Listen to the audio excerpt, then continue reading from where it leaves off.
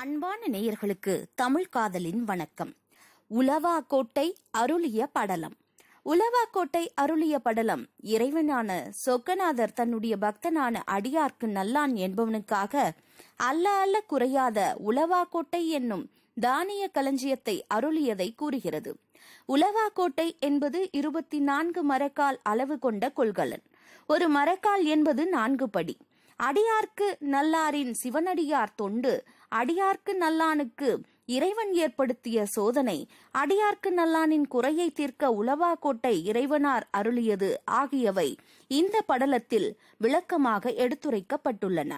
உளவாக்கோட்டை அருளிய படலம் திருவிளையாடல் புராணத்தின் கூடல் காண்டத்தில் முப்பத்தி எட்டாவது படலமாக அமைந்துள்ளது. அடியார்க்கு நல்லாரின் சிவத்தொண்டு. மதுரையில் அடியார்க்கு நல்லான் என்னும் வேளாண் ஒருவன் இருந்தான். அவனுடைய மனைவி தரும் தருமசீலை. இப்பெண்மணி கற்பில் சிறந்து அறவழியில் செல்லுதலுக்கு கணவனுக்கு உதவியாக இருந்தாள். அடியார்க்கு நல்லான் பெயருக்கு ஏற்றாற்போல சிவனடியார்களிடத்தில் பேரன்பு கொண்டவன். தன்னுடைய வேளாண்மையில் விளைந்த பொருட்களில் ஆறில் ஒரு பகுதியை அரசுக்கு வரி செலுத்தி மீதி உள்ளதை சிவனடியார்களுக்கு திருவமுது செய்வித்தல் என்னும் சிறப்பான சேவையை செய்து வந்தான். தன்னுடைய செல்வங்கள் அனைத்தையும் அடியார்களுக்கு திருவமுது செய்விக்க பயன்படுத்தினான். இதனால் நாளடைவில் அடியார்க்கு நல்லானிடம் திருவமுது உண்ணும் சிவனடியார்களின் கூட்டம் பெருகியது.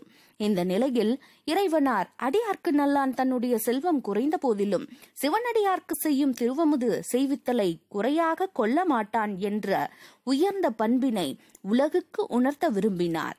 சொக்கநாதரின் சோதனை. நாளடைவில் அடியார்க்கு நல்லானின் விளைநிலங்களில் விளைச்சல் குறைத்து தொடங்கியது.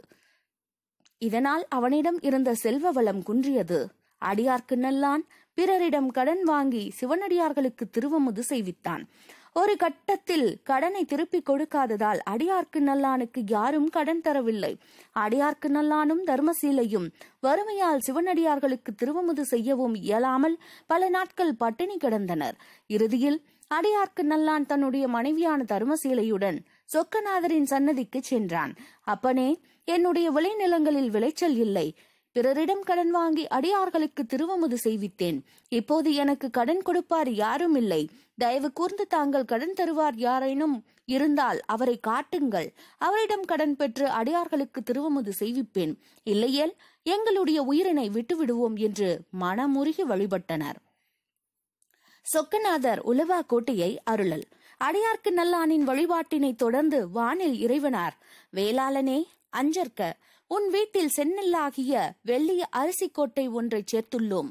எப்போது எடுத்தாலும் அல்ல அல்ல குறையாதது அது. அதனை கொண்டு அடியவர்களுக்கு திருவமுது செய்விக்கும் தொண்டினையும் பிற தருமங்களையும் செய்து வருவாயாக. இறுதியில் யாம் வீடு பெற்றினை அளிக்கின்றோம் என்று திருவாக்கு அருளினார்.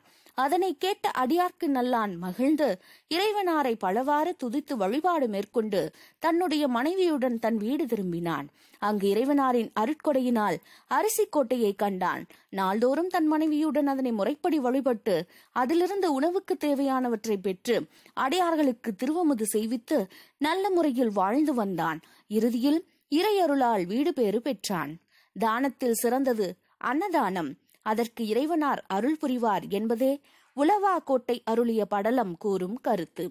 மீண்டும் நல்லதொரு பதிவில் சந்திக்கிறேன். நன்றி வணக்கம்.